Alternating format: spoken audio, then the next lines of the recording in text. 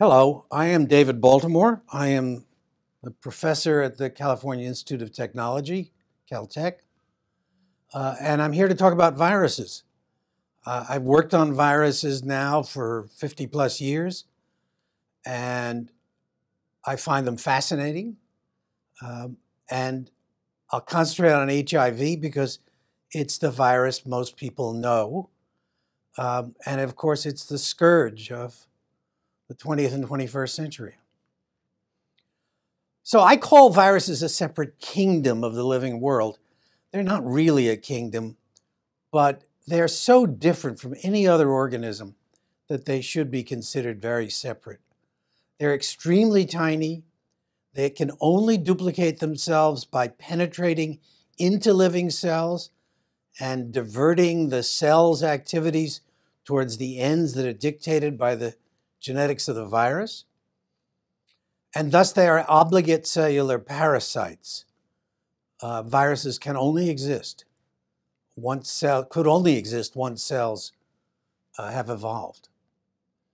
They can have either RNA or DNA as their genetic material. The rest of the biological world uses DNA.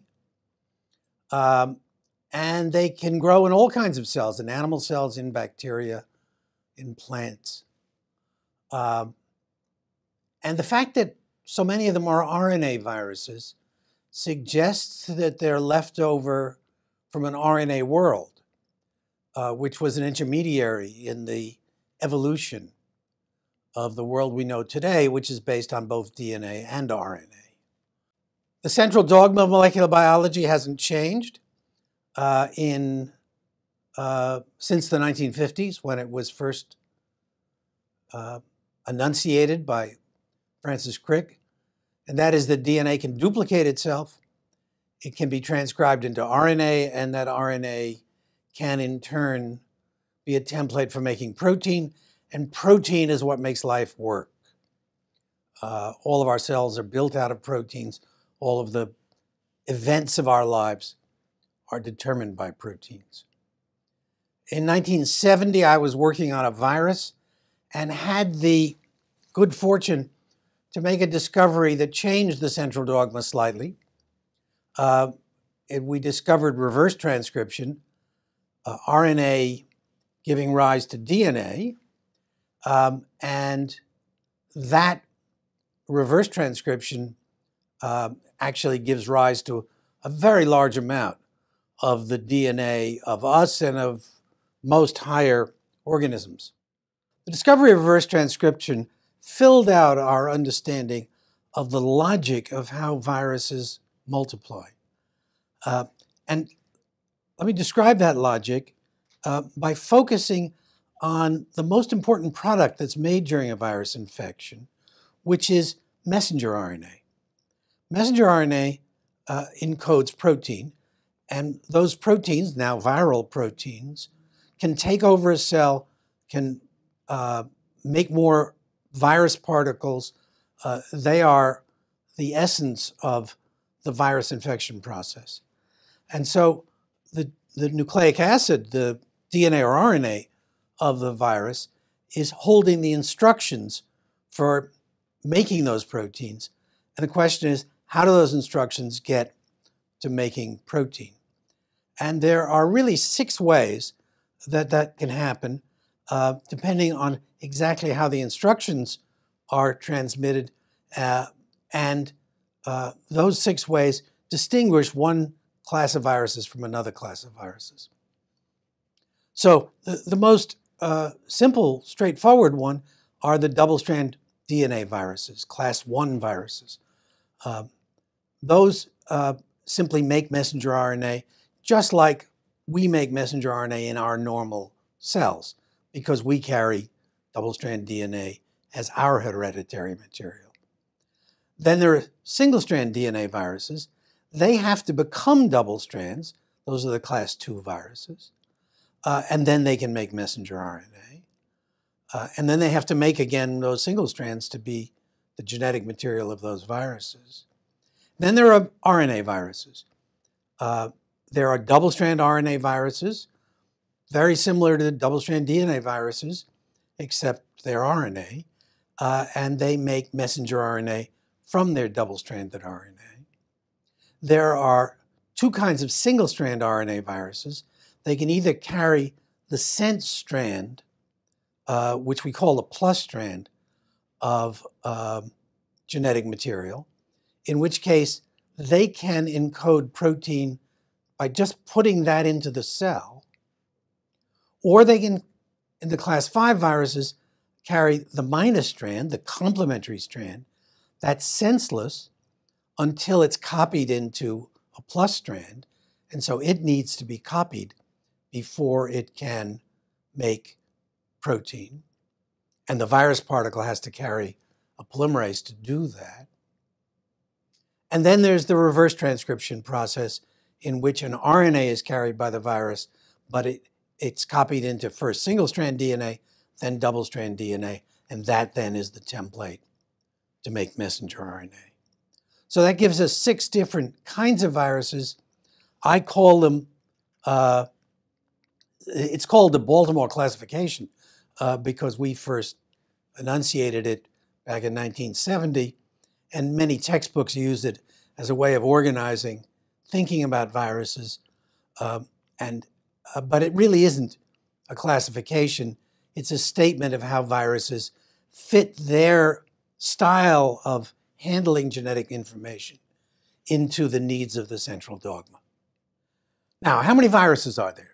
There are an uncountable number of viruses.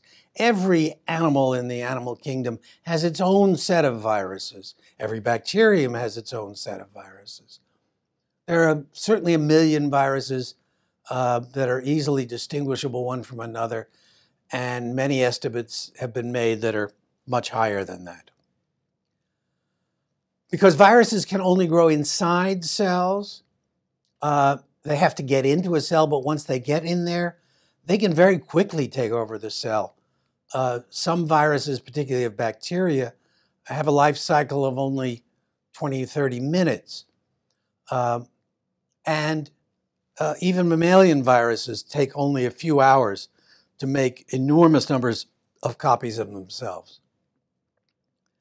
They can continue to live only if they're passed on from one organism to another because being obligate parasites, they can't live out in the world on their own.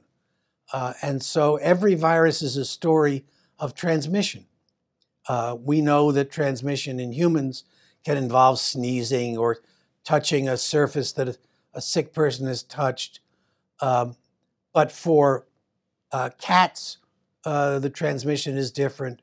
For insects, the transmission is different. And that's part of the evolution of viruses. They evolve to become part of the living style of their hosts. If viruses are very particular to a species, like the human species, then we can actually get rid of them because they have no reservoir outside of us. And so if we can vaccinate the whole population of the world, then we can get rid of uh, that virus uh, because we make ourselves immune to it. And we've done that with smallpox, and we've almost done that with polio. Um, and uh, they, they believe that within a couple of years, polio will be eliminated from the earth. Now, viruses growing inside cells, for them to get out of cells, they got to do something. Uh, and they do one of two things generally either they bud out from the surface of cells, and that's what this picture shows, or they uh, grow up to large numbers inside the cell, and then they burst the cell open. Uh, and that liberates virus particles from the cell interior into wherever it is, into the blood system, bloodstream in the humans, for instance. Viruses only made sense when molecular biology was born as a science because they're so small that the only really important thing that they have is their genetic instructions, their DNA or their RNA. They generally protect that in a coat, uh, but the coat is, is largely inert except for helping them get into the next infected cell or next cell that they're going to infect. Um, some of them have a few other proteins that help initiate the infection. And then we're now learning about viruses that are very big and complicated, surprising. They're actually of the size of bacteria. Uh, but what distinguishes them is that they require to be inside a cell to multiply, whereas bacteria can multiply as free living organisms. The way we detect viruses is by what's called a plaque assay. We have a lawn of, of susceptible cells. They could be mammalian cells, they could be bacterial cells. We put a few virus particles down. Those virus particles chew up the lawn from a center where they land, and they form a plaque. And if you count the number of plaques, you know how many viruses were there. And if you make if you put down twice as many viruses, you get twice as many plaques. So it's a highly quantitative test.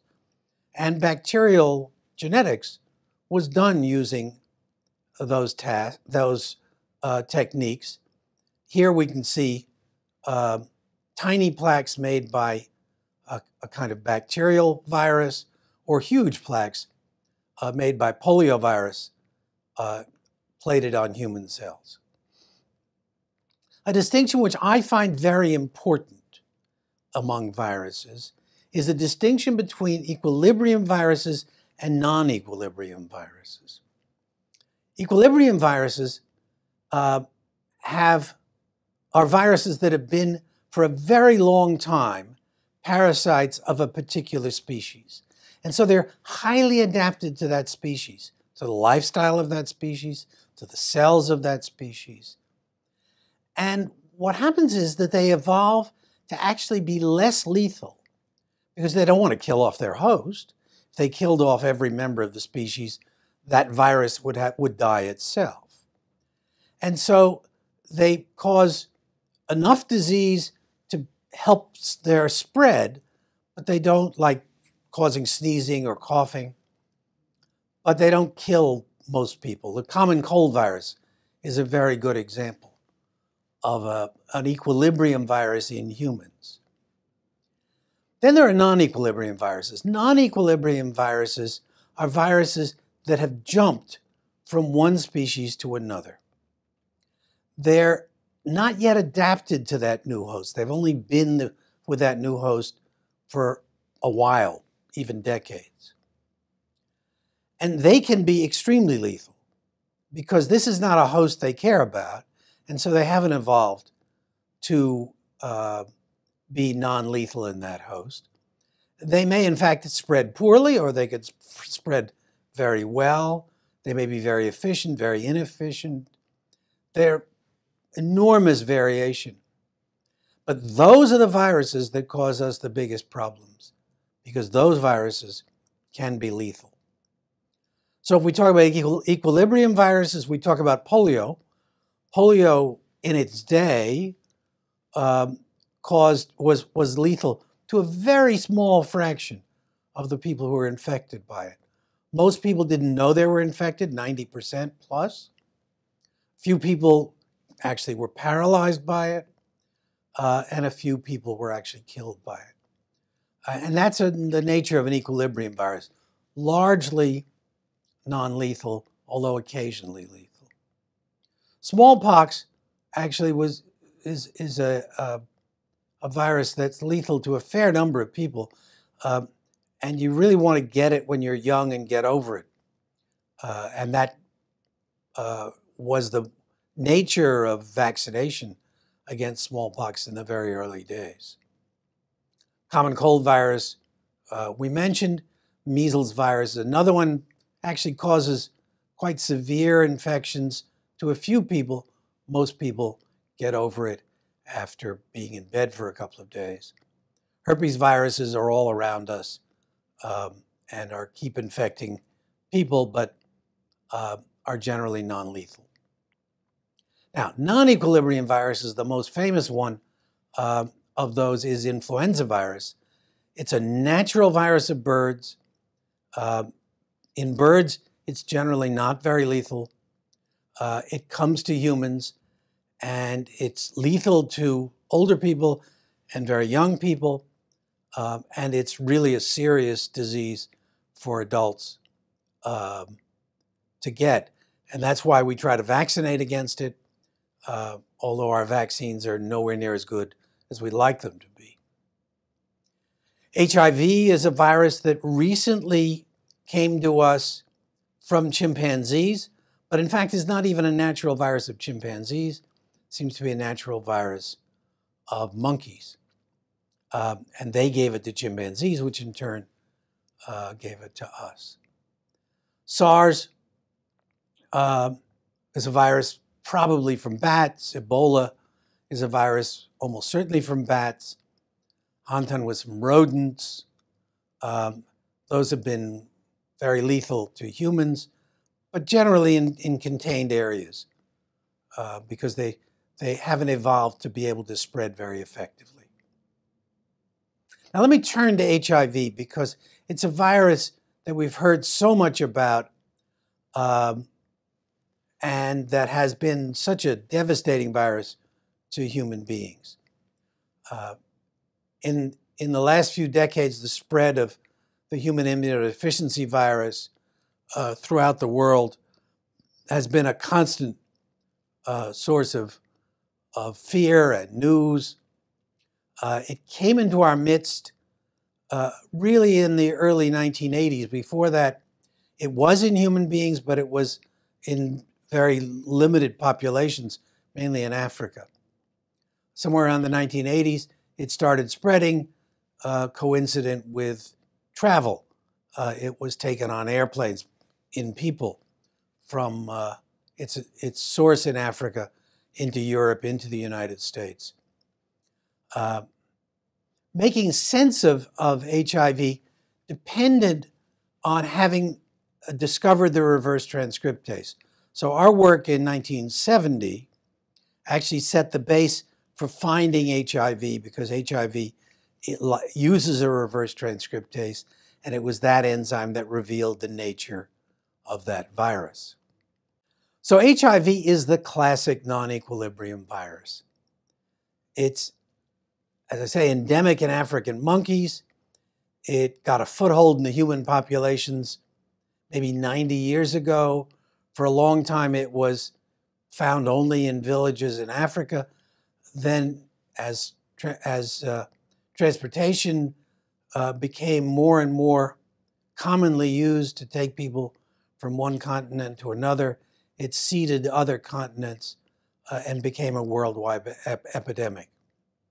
It grows in one of the key cell types of our immune system, and so it actually knocks out our immune systems, and that's what, why it's a lethal virus.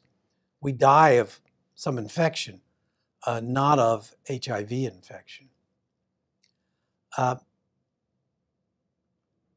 and with that, uh, I, I, finished with this discussion of viruses uh, and of HIV.